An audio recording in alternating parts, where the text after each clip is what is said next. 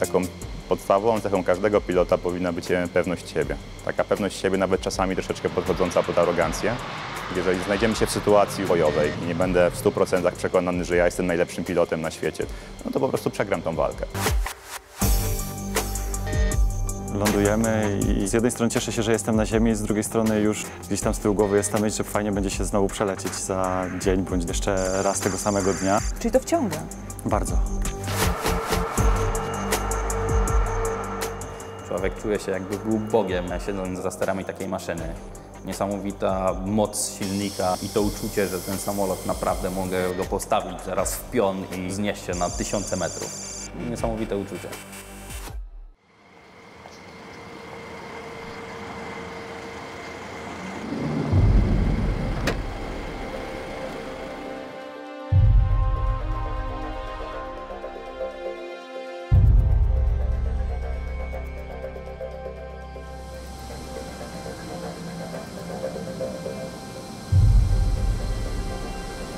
U mnie zaczęło się to już w podstawówce, gdzie e, kolega mojego taty wziął mnie kiedyś na szybowce i przeleciałem się raz, po prostu lotnictwo skradło mi serce. Trudno było tutaj się dostać?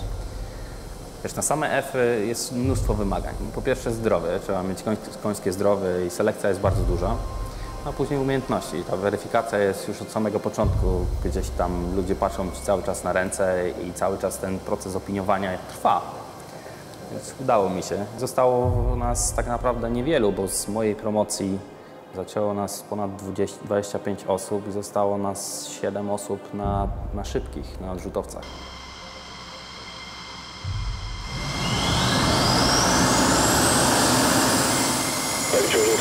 Charlie, last chance from the 93 Marco Foxtrot Charlie, last chance 103.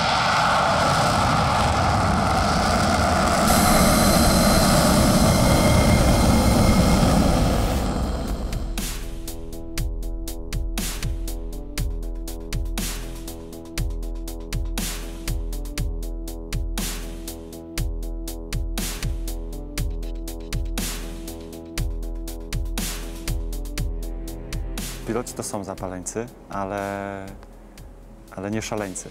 Jak wsiadamy do samolotu i, i lecimy na jakiekolwiek ćwiczenie do większej strefy, to tak naprawdę jesteśmy skupieni przez cały lot i od początku do końca musimy panować nad sobą, nad samolotem, nad adrenaliną, nad emocjami.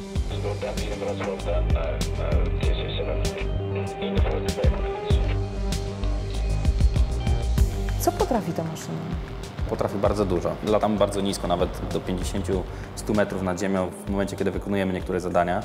A już bym powiedział do wysokości to są rzędu 15-17 kilometrów nad ziemią. Prędkości rzędu 200 km na godzinę, aż po dwa razy prędkość dźwięku, czyli 2400 plus kilometrów na godzinę. Odczuwa się prędkość? Tam wysoko raczej nie. Nie mamy po prostu punktu odniesienia. Trasę z Poznania do Gdańska, z Poznania do Warszawy czy do Krakowa pokonujemy w ciągu no, 5 do 10 minut. Generalnie tutaj moc silnika jest podawana w pancach, więc kiedyś z kolegą przeliczaliśmy. e, Moc silnika to około 20 tysięcy koni mechanicznych. Śmiejemy się, że jest no, porównywalna z 1500 1500 Passatów 1.9 turbo diesel. To jest taki na- nasz standardowy kawał. Ja w momencie oderwania kółek od ziemi przenoszę się w ten swój taki lotniczy świat i wszelkie problemy zostają tutaj na ziemi. Skupiam się tylko i wyłącznie właśnie na, na tej misji, którą dzisiaj będę wykonywał. Jednego dnia może być to lot naprawdę w pełni spokojny, gdzie rozglądam się tylko dookoła, jakby podziwiam te widoki. A są loty, w których zadanie taktyczne jest tak skomplikowane, że generalnie moja cała uwaga jest skupiona wewnątrz kokpitu, na, na poprawnym działaniu e, naszej całej awioniki, systemów uzbrojenia. I moim głównym zadaniem wtedy jest, nazwijmy to, symulowany zrzut bomby w, w tym momencie, w, jeżeli jesteśmy w sytuacji tutaj treningowej, e, czy wystrzelenie rakiety do, do przeciwnika.